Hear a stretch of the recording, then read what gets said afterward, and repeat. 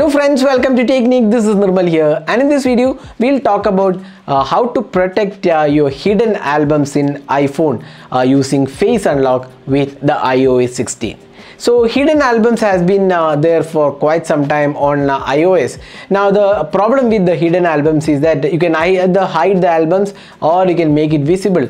But if you uh, there is no security for this hidden album, basically uh, there is no uh, passcode or face unlock available for these hidden albums because uh, once you enable the hidden albums, it will be visible to all and anyone can go to the settings and enable the hidden albums and you can view the album. So it's basically a hide option but it's not a secure option. But with iOS 16 things are changing. Now you can actually protect uh, your hidden albums with face unlock which means unless you have the face unlock verified hidden albums won't be uh, available for viewing. So that's a very good feature I would say for hidden albums. So let's see how you can enable hidden albums uh, with face unlock uh, on the iOS 16 so before getting started if this is your first time on this channel do hit that red subscribe button and also hit the bell icon to get notified of all the videos we publish. So let's begin. So in order to enable uh, hidden albums what you need to do is just go to the settings and scroll down and uh, you can uh, see the um, photos app. So select the photos app here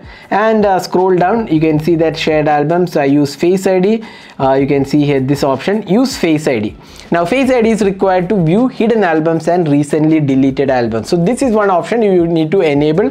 And you can also show uh, hidden album enabled uh, can be enabled because uh, every time you don't have to uh, enable or disable this once face id is there uh, you can always have uh, security more security. So you can enable this use face id. You don't have to set the face id because already if you have already set it but if you are not set it you need to enable the face id. In this phone it's already enabled so i don't have to enable it again. Now i've just enabled this option that's use face id. Now if you go to the photos app so this is the photos app and uh, we have different photos and uh, here we have the hidden album. So you can see two icons against the recently deleted and hidden albums. And whenever uh, you uh, select this or open this you can see here. Uh, this album requires a face id and unless uh, you uh, give a face id uh, this won't show any uh, data or any photos or any videos in the hidden album. This is very useful feature especially if you want to password protect uh, your albums or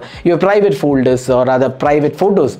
This is very useful feature. And this requires ios 16 but since it's still in the beta version you may not be able to get it unless it is released for public. So that was the uh, the option to secure your hidden albums with face id so this will be coming up uh, in the final version of uh, ios 16 so stay tuned for that. Right now it's in beta version so you may not be able to install it unless you have a developer account. But uh, this will be coming rolling out uh, later this year once the iphone uh, next series phones are announced so that is a quick video on how to enable Face ID uh, on the hidden albums on iOS 16. So hope you enjoyed watching this video. Do hit that like button and also hit that subscribe button for more videos. Thanks for watching. Hope to see you in our next video. Have a great day.